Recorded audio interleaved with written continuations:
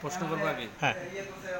আমরা জানি যে বাংলাদেশে নারী এবং পুরুষ সমান অধিকার। তো সেক্ষেত্রে নারী নির্যাতন আইন বাংলাদেশ সরকার পাশ করেছেন। তো পুরুষ নির্যাতন আইন নাই। তো আপনি কি মনে করেন যে আসলে একটি পুরুষ নির্যাতন আইন দরকার? আপনি আপনার নাম এবং পরিচয় দিয়ে বক্তব্য বলুন।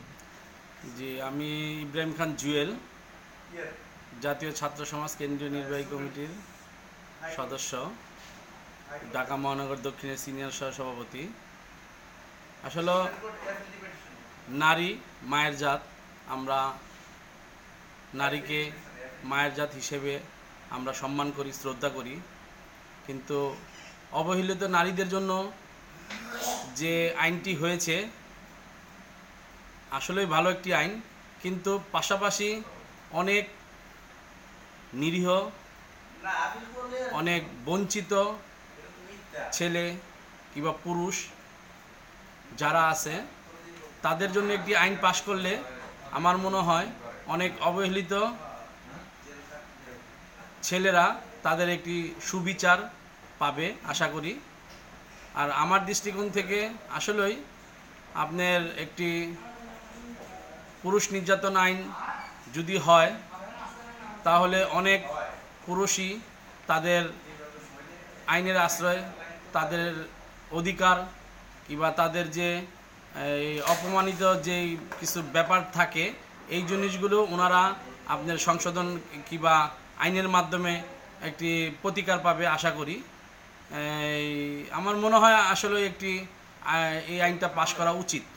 আচ্ছা আমরা জানি জানি যে কতিপয় মহিলা, কতিপয় মহিলারা প্রতারকরা বিভিন্ন রকম পুরুষদেরকে ব্ল্যাকমেলিং করে। এ বিষয়ে আপনার বক্তব্য কি? আসলে বর্তমানে যেহেতু অনেক মেয়েরা আসলে এই আইনের অপব্যবহার করতেছে, কারণ এই যেহেতু ওদের একটি কি বলে পুরুষ মহিলা নির্যাতন কিংবা নারী নির্যাতন একটি আইন হয়েছে, তারা চিন্তা করে পুরুষদের বিভিন্নভাবে ব্ল্যাকমেল করে, তারা আইনের মাধ্যমে কিছু অর্থ কিংবা কিছু বিভিন্ন জিনিস আসলে ফায়দা লুটতে চায়। আসলে দুষ্ট তো দুষ্টই। দুষ্ট দুষ্ট লোকের কাজই হলো দুষ্টামি করা। আর ছেলে হোক কি আর মহিলা হোক কি যারা দুষ্টামির চিন্তা ভাবনা করে যারা আসলে এই, দুষ্ট দুশ্চরিত্র যে মানুষগুলো আছে এই তারা অবশ্যই সবসময় এই আইনের বিভিন্ন ফাঁক দিয়েই তারা আপনার এই কি বলে আইনের ফাঁক দিয়েই তারা আপনার তাদের ফায়দা লুটতে চায়। ফায়দা লুটতে চায়।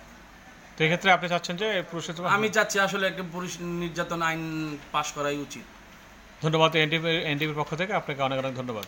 জি আপনাদেরও ধন্যবাদ।